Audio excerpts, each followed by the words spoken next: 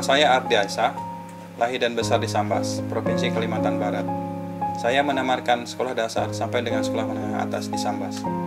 Pada tahun 1993, saya pindah ke Bogor untuk menyelesaikan pendidikan mulai dari program diploma sampai dengan master pada bidang ilmu dan teknologi pangan.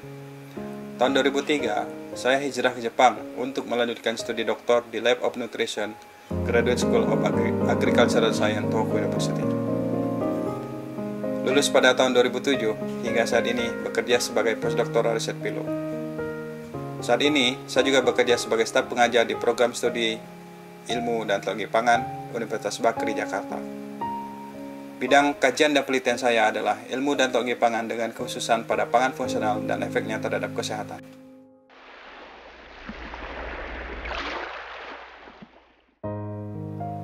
Pangan merupakan kebutuhan yang sangat mendasar bagi kebutuhan manusia. Pemenuhan kebutuhan pangan bisa menjadi modal dasar bagi kemajuan satu bangsa.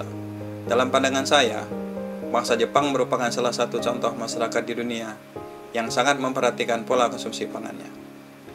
Pangan yang dikonsumsi tidak hanya masalah kecukupan nilai gizi, tetapi juga terkait dengan efek fisiologis yang dapat mempengaruhi kesehatan. Istilah ini kemudian berkembang dengan nama pangan fungsional.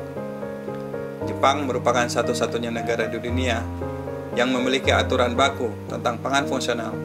Dan saat ini, pasar pangan fungsional di Jepang merupakan pasar yang terdepan di dunia. Saat ini, pangan tidak hanya sebagai sumber energi untuk tubuh, tapi juga dapat diandalkan sebagai pemelihara kesehatan dan kebugaran tubuh. Bahkan bila dimungkinkan, pangan harus dapat menyembuhkan atau menghilangkan penyakit tertentu. Dari sinilah lahir konsep pangan fungsional atau functional food. Di Jepang, Perkembangan pangan fungsional juga didorong oleh komitmen pemerintah Jepang yang gigih mengupayakan perbaikan mutu kesehatan para penula yang jumlahnya meningkat tajam akhir-akhir ini. Sejak tahun 1984, pemerintah Jepang telah menyusun draft alternatif pengembangan pangan fungsional dengan tujuan untuk memperbaiki fungsi-fungsi fisiologis agar dapat melindungi tubuh dari berbagai penyakit, khususnya penyakit-penyakit degeneratif. Pemerintah mengeluarkan regulasi khusus untuk pangan fungsional dengan melakukan pendaftaran untuk mendapatkan persetujuan pemerintah yang pelaksanaannya dilakukan oleh Ministry of Health, Labor and Welfare. Produk dengan klaim yang telah memenuhi syarat akan mendapatkan label atau logo FOSU, Food for Specific Health Use, yang secara otomatis produk tersebut dapat dipasarkan sebagai pangan fungsional. Kelompok senyawa yang dianggap mempunyai fungsi-fungsi fisiologis tertentu di dalam pangan fungsional antara lain adalah mikronutrien berupa vitamin dan mineral, makronutrien, asam lemak, protein, asam amino, sayuran sebagai sumber serat makanan, fitokimia, polifenol dan isoflavon, dan bakteri asam laktat, dan probiotik.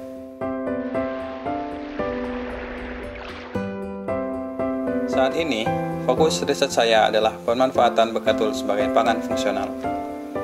Saya tertarik meliti bekatul karena bekatul merupakan hasil samping pengolahan padi yang selama ini hanya dimanfaatkan sebagai pakan ternak. Padahal bekatul sendiri sangat kaya akan kandungan protein, lemak, vitamin, mineral, dan senyawa-senyawa antioksidan. Sebagai negara penghasil beras, kita Indonesia, jumlah bekatul sangat melimpah, sekitar 65 6,5 juta ton per tahun.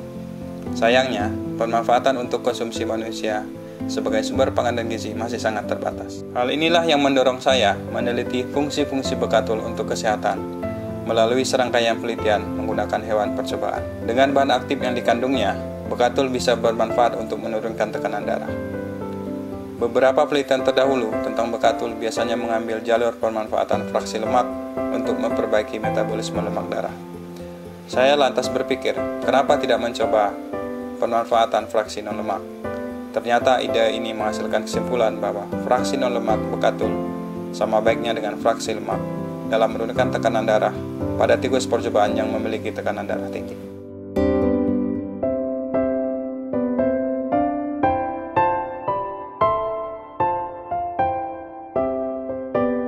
Keunggulannya, fraksi non-lemak yang diteliti pada bekatul ini tidak memerlukan pengolahan tambahan jika diaplikasikan pada manusia. Selain itu, fraksi non-lemak bekatul dengan jumlah 6% yang ditambahkan pada pakan kontrol lebih baik dalam menurunkan jumlah lemak darah, seperti kandungan kolesterol dan lemak jahat dibandingkan dengan fraksi lemaknya. Penelitian ini pun menggunakan hewan percobaan tikus stroke prone spontaneously hypertensive pride, yaitu spesies tikus yang secara genetis mengalami hipertensi dan hiperlipidemia mirip pada manusia. Oleh karena itu, diharapkan hasil-hasil penelitian yang diperoleh suatu saat nanti bisa benar-benar diterapkan pada manusia.